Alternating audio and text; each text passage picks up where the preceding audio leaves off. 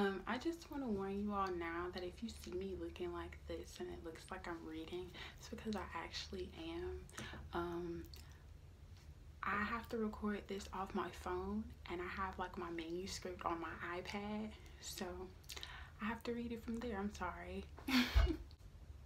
hey guys, what's up? It's me, Ices the Enchantress. Welcome back to my channel, and if you're new here, welcome. Don't forget to hit that subscribe button and click the bell to turn my notifications on so you don't miss a post from moi. And give this video a thumbs up. It'll really help me out a lot. And it'll give me a general idea about what kind of content y'all like from me. I just want to get started with a quick disclaimer. All data and information provided in this video are for informational purposes only. All facts stated in this video are from the internet and I'm putting it into this video. I make no representations as to the accuracy, completeness, currentness, suitability, or validity of any information in this video. I will not be held liable for any errors, omissions, or delays in this information or any losses or injuries arising from its display or use. Today we're going to be talking about the brutal murder of Bobbie Jo Stinnett and the kidnapping of her unborn child. So fair warning, this case is about the murder of a pregnant woman. Bobbie Jo Stinnett was a 23-year-old woman who was found brutally murdered in her home in Skidmore, Missouri on December 16, 2004. Not only was she murdered, but she was eight months pregnant and the baby had been cut from her womb and the child was not found at the scene of the murder. She was married for a little over a year and this was her first child. She worked in an engine factory and was a rat terrier breeder with her husband. She was discovered by her mother, Becky Harper, in a pool of blood almost an hour after her murder and her mother immediately dialed 911. When asked to describe the wounds inflicted upon the victim, she said that it appeared as if her daughter's stomach, she said that it appeared as if her daughter's stomach had exploded. When the police got to the scene, they found an umbilical cord that had been cut and immediately started to search for the baby. So this case literally just turned from a homicide to a missing persons case. And an Amber Alert was issued. Bobbie Jo's body was taken to St. Francis Hospital in Maryville, Missouri, where they tried to revive her but was unsuccessful and she was pronounced dead. Police actually recovered pieces of hair found in Bobbie Jo's hands at the scene of the crime and kept it for DNA testing because they believed it to belong to the murderer. Upon the police searching her house and checking her computer records, the police learned that Bobbie Jo was expecting to meet someone at her home interested in purchasing a rat terrier puppy from her. The woman's name was Darlene Fisher. She met Darlene in a chat room called Ratter Chatter, which was an online chat room for rat terrier owners and breeders, or you know, people interested in rat terriers in general.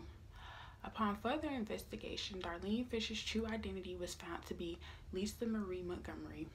Lisa Marie Montgomery, born February 27, 1968, was 36 at the time of her crime. She was born and raised in Melvern, Kansas, which is almost three hours away by car to Skidmore, Missouri, which is where the attack took place. Lisa was raised in a chaotic home and from an early age she was known to be a liar. She usually lied to manipulate people into feeling sorry for her and doing things that she wanted done. Lisa claims that she was being sexually abused by a stepfather, but because she told so many lies, no one believed her. And I just want to throw in there that just because someone is a known liar doesn't mean you should 100% completely discredit them when they're saying they're being abused. I'm not saying you have to believe everything they're saying 100%, but at least take the claim serious until proven otherwise. So when her mother actually found out about the sexual abuse, she actually threatened Lisa, her daughter, who was only 14 at the time, with a gun. When Lisa turned 18 to leave the abusive household, she got married. But when she left, her husband only abused her more. Due to the abuse she faced as a child, she constantly wanted attention. One of the major ways she'd seek attention would be faking pregnancies. She claimed to be pregnant, but around the time of the due date, she claimed to have miscarried. By 1990, Lisa had four children from her first marriage and had a tubal ligation, a tubectomy where she had her tubes burned, and that's an irreversible process. But even after this procedure, she still would continue to make false pregnancy claims. By this time, Lisa had become a pro at faking pregnancies. She made fake doctor's appointments, wear baggy clothes, and would harden and extend her stomach outwards more when people asked to touch it so that she would appear pregnant. She'd even go as far as to printing fake baby ultrasound photos off the internet and would pass them off as her own to like family and acquaintances. Her husband at the time believed she was eight months pregnant, but had never been with her to any doctor's appointments, nor did he notice any major signs of pregnancy from her. She was so good at lying and manipulating people. She fooled her own husband. Keep in mind that she laid next to this man in bed every night, saw her naked body, and still believed she was pregnant when she actually wasn't. Approaching her alleged due date, Lisa had to think of a plan on how to get a baby. She was a part of the online chat room Ratter Chatter as well because she also bred rat terriers. Lisa befriended Bobbie Jo in the online chat room and even manipulated her into thinking that they maybe been at the same dog show together once. When Lisa learned that Bobbie Jo was eight months pregnant, she lied and told Bobbie Jo that she was eight months pregnant as well and said that she wanted to come over to see her puppies.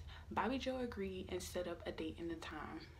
200 miles away, Lisa Montgomery is on her way to Bobbie Jo's home equipped with a knife, a rope, and a home birthing kit.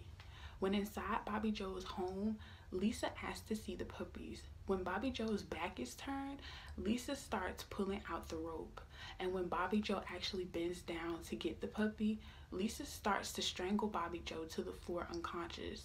When Lisa starts to cut the baby out of Bobbie Jo's stomach, Bobbie Jo wakes up and Lisa strangled her unconscious again. Bobbie Jo began to deliver the baby prematurely through C-section procedures that she learned from an online video. Surprisingly, she successfully delivered the baby and the baby survived and is still alive to this day. When Lisa returned home with the new baby the next day, she took the baby to the town diner and was showing her baby off to everyone in town.